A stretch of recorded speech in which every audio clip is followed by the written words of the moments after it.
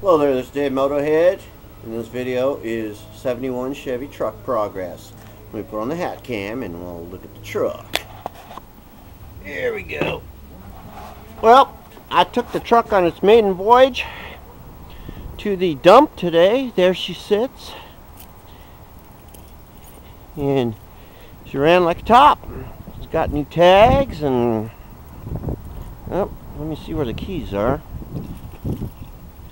Anyway, I got the new gas tank. I filled it up at the at the station and it worked good. The inside looks all nice and good now with the seat in it.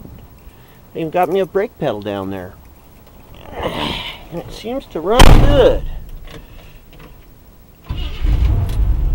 Fires right up, baby. There's my inaugural fire extinguisher, just in case. Big blocks purring. I got amperage and voltage and well it's not warm. I got plenty of uh, oil pressure. The old truck seems to run good.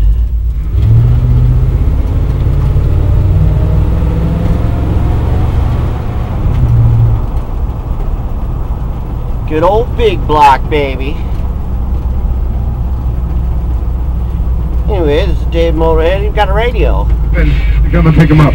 Come on now, bring a new one round toy. We're going to be here till 7 tonight.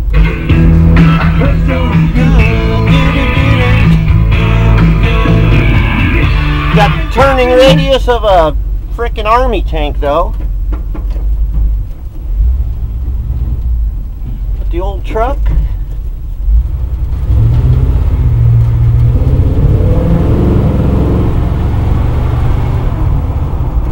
Got big block power. And she runs sweet.